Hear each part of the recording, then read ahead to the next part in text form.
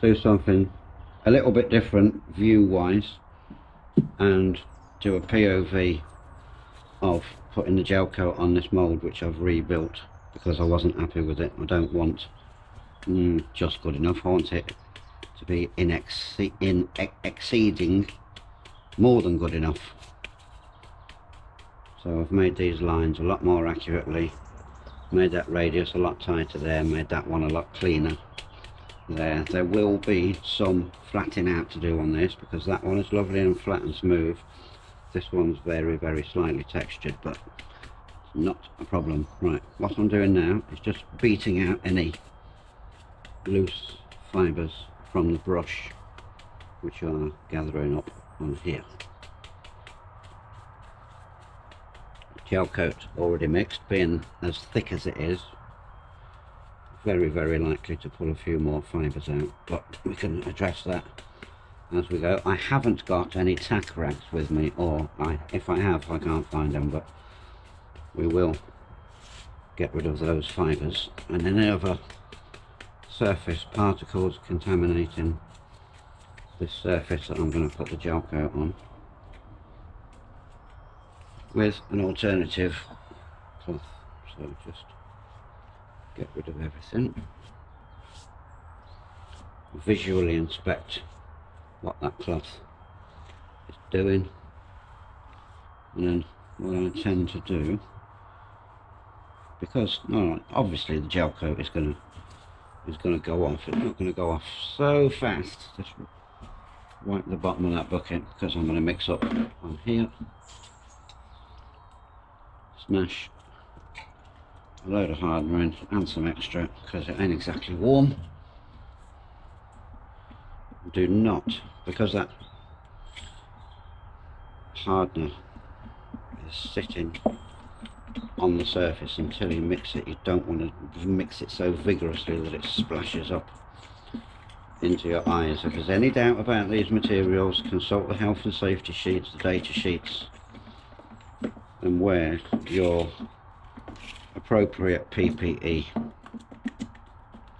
I've got an open door to my left there, so well ventilated.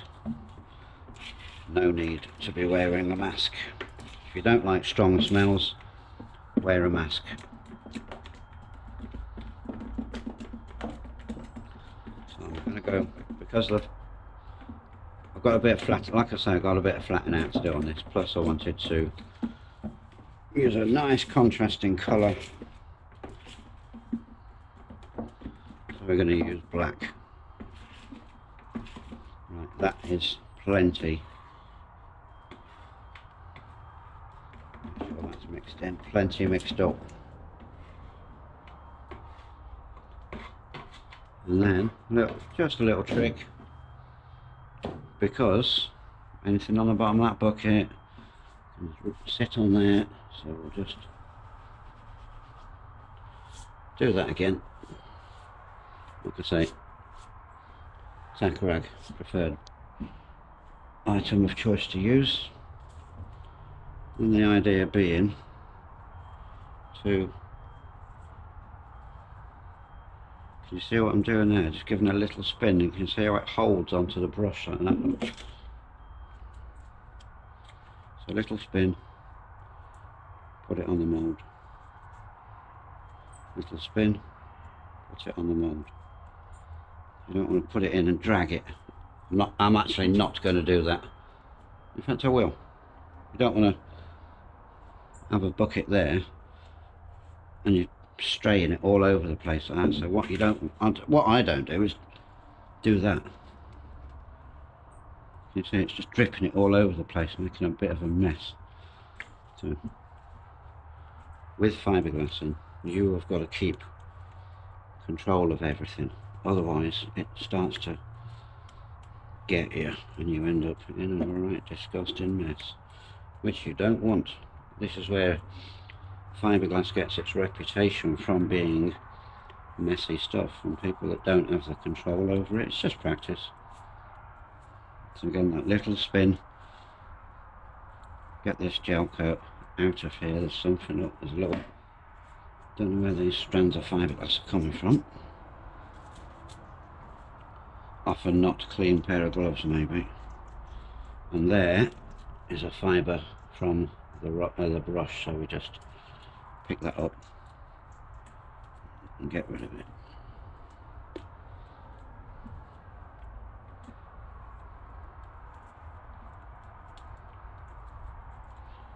so that is all the gel coat we're going to need on this job. Dumped out. It's like I say it's not like it's going to go off on you at 100 mile an hour. It is going to go off but not that fast that you have to panic with it. And then we sort of what we call start laying it off. Now I'm because I'm filming this I'm probably going to mess around with it a little. I've noticed that in my videos. I mess around with things a little bit more unnecessarily than I need to. But the idea is to call it laying off leveling it within reason. Nice and tidy. It just helps the glass sit you want a nice even thickness not built up in corners where it's going to get too hot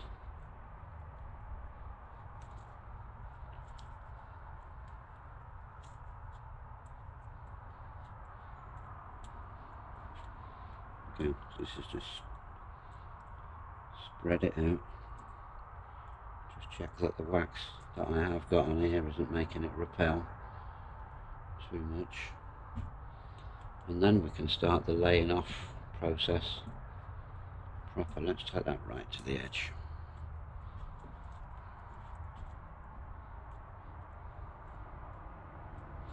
Another brush fibre there so we get rid of that on the side of the bucket.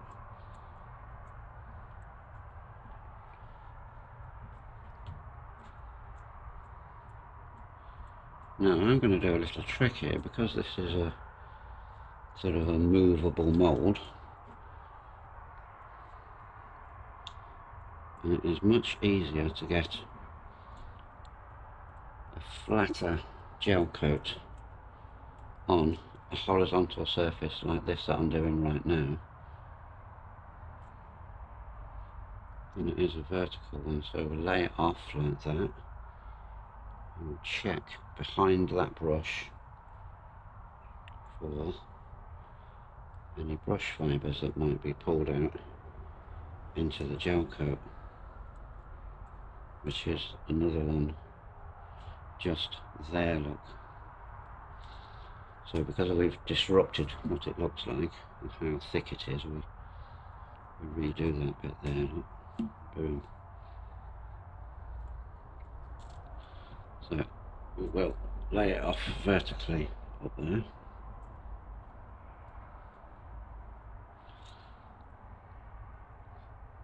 If you sort of go over it, hmm, say three times, you should get that nice and level laid off. Now, I'm happy. See the brush marks where I'm lifting it from there, it's catching the bottom so just lay that off again. Lay that off again. Again this is probably I'm just over egging this cake I think for what this is. and because this isn't this is light enough for me to move about just put that brush down very carefully without knocking dust or anything into this. Kind of mould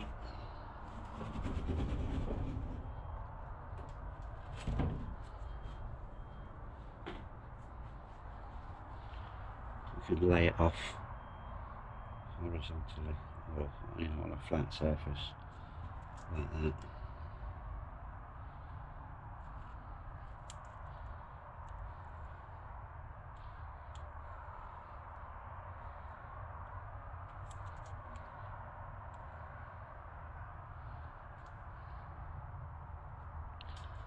And that should come out. Champion that.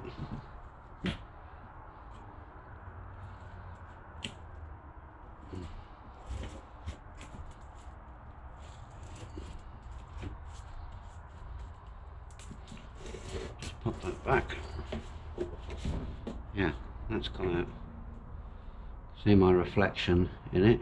Obviously, obviously there's some slight undulation, but that's what we're looking for. Let's just check we've got the right angle on that. Yeah, that's all right?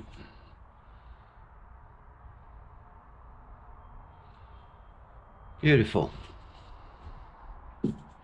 Now, we want to reuse this bucket. We don't want to just let this go off in the bucket as it is. So what we'll do, just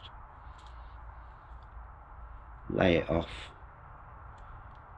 vertically up the walls of the bucket. I've probably mixed up a couple of hundred grams too much there. So we lay it off into the bucket like that.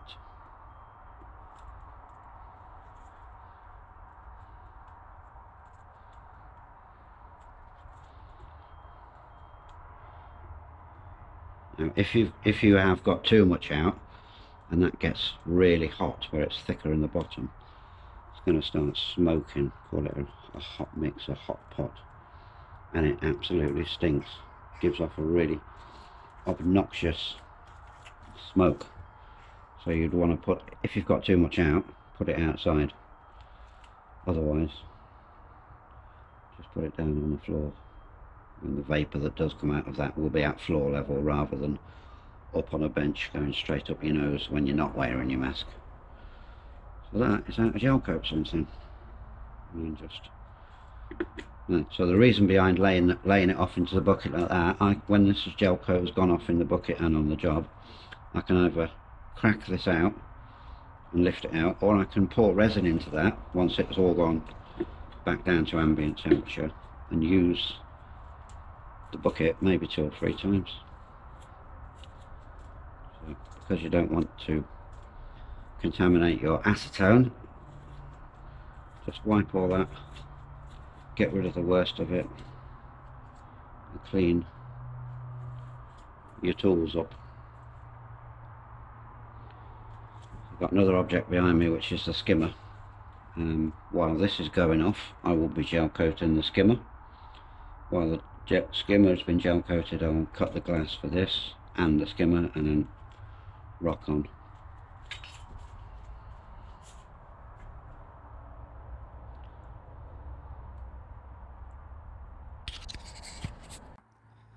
so that's the gel coat on and the test for whether it is ready to start laying up on or putting a second gel coat on which is what I'm going to do and I'm only doing that because there's going to be some flattening out to do when this comes off of here, off the melamine.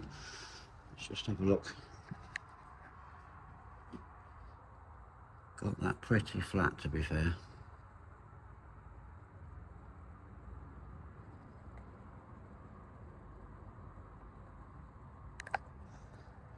The light is just showing up a brush fibre there. decent enough reflection in that side as well.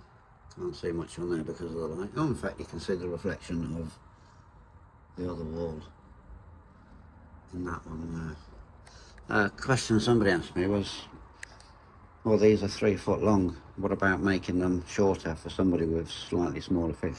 Absolutely no problem at all.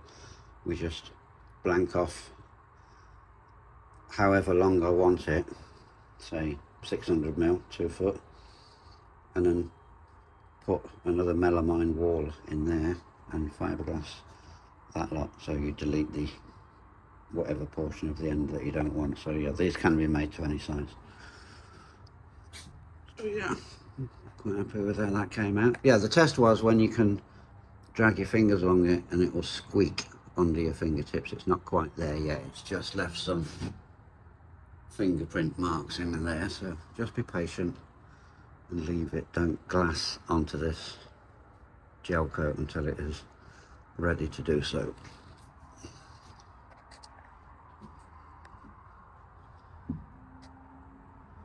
nice reflection in that gel beautiful. Chuffed with that